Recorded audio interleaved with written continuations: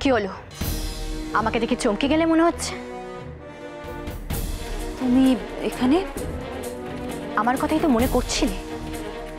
তাই থাকতে না পেরে চলেই এলাম।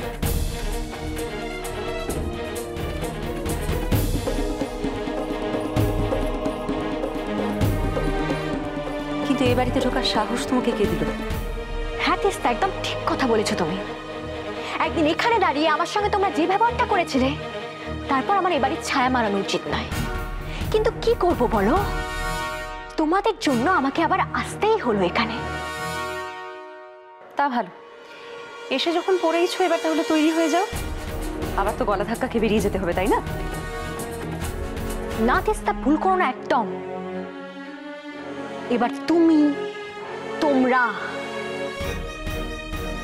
কেউ আর আমাকে এখান থেকে বার করতে পারবে না। এবার যেটা হবে সেটা হলো উল্টোটা। মানে? মানে তুমি কি আমাদের বাড়ি বয়ে এসে আমাদেরই হুমকি দেবে? না দেবো তা হুমকি দিচ্ছি না। যেটা সত্যি যেটা হবে সেটাই বলছি। এবার এই বাড়ি থেকে তোমরা বেরোবে।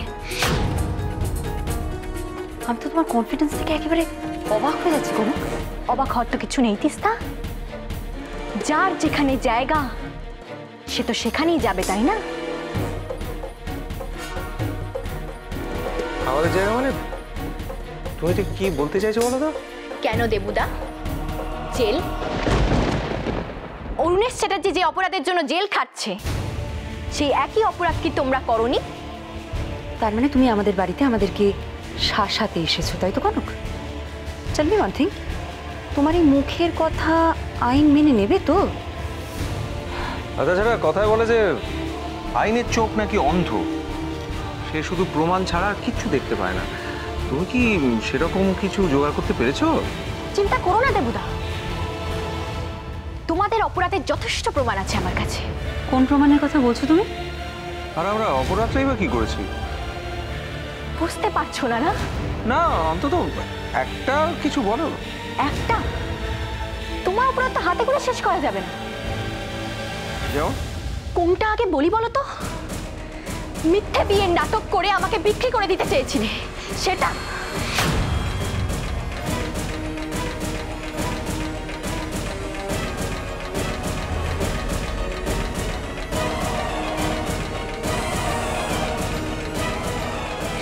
আমিও তো চিনেছি এই তো আমার বৌমা। আমার ছেলের বউ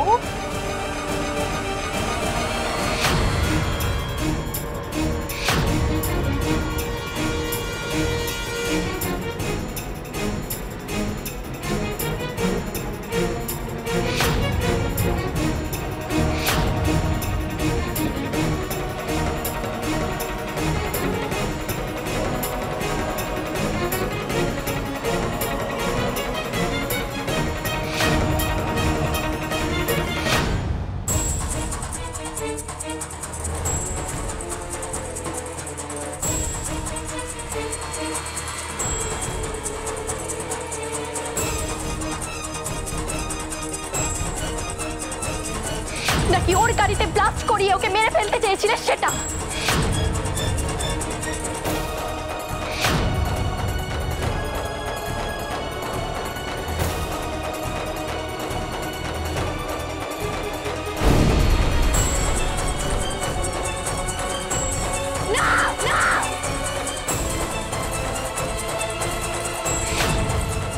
আজ এই কথাগুলো তুমি কি করে প্রমাণ করবে, কনক?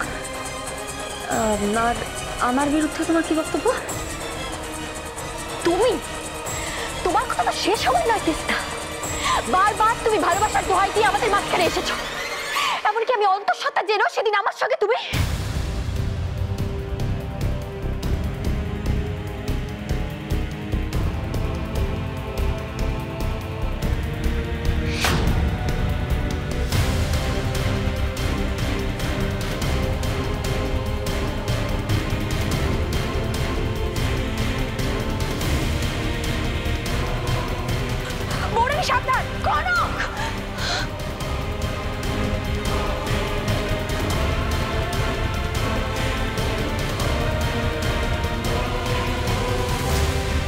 এখানেই শেষ নয়।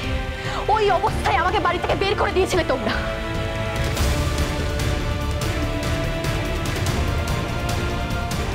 যাও, এই মেয়েটাকে এক্ষুনি ঘরের বাইরে বার করে দাও।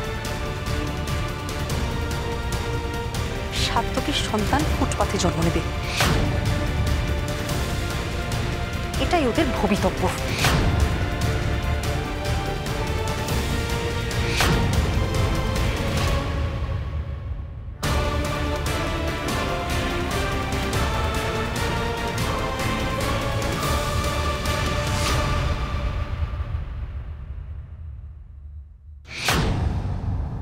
তারপরে যখন আমার কোনো ক্ষতি করতে পারলে না, তখন ওটি থেকে আমার বাচ্চাকে চুরি করালে তোমরা।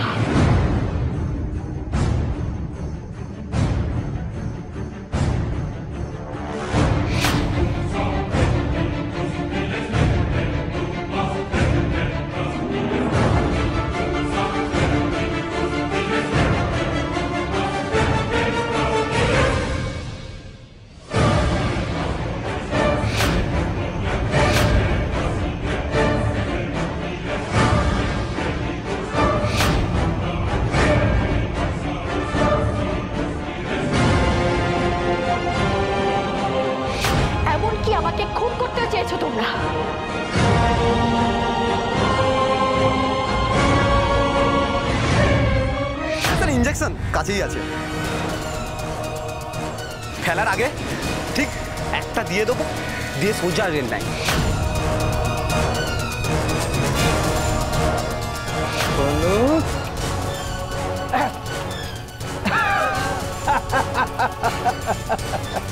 পালাও গরক পালাও। যেখানে পারো, পালাও। আজ তোমার শেষ দিন।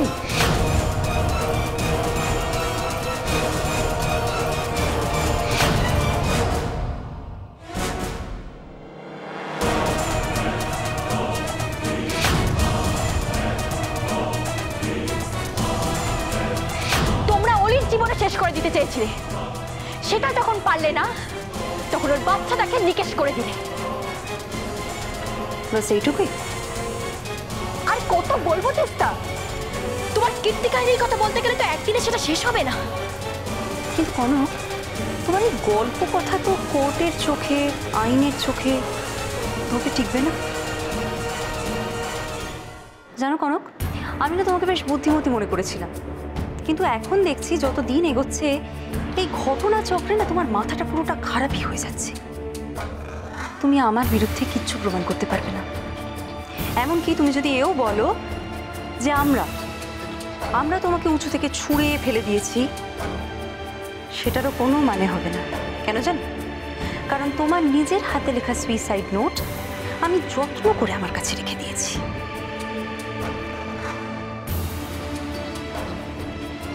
একদম ঠিক বলেছ, তিস্তা। ওই কাগজটা দিয়ে আমরা প্রমাণ করে দিতে পারব, ও যা যা বলছে সব মিথ্যে সাজানো ষড়যন্ত্র। কি কনক আর বলবে কিছু? অপরাধীর যতটাই চালাক হোক না কেন, একটা না একটা ভুল সে করেই বসে। আর এই সত্যিটাই তুমি ভুলে গেছিলে, তিস্তা। মানে? কি বলতে চাইছো তুমি? তোমাদের জন্য চৌধুরী বাড়ির বৌমনি মারা গেছে।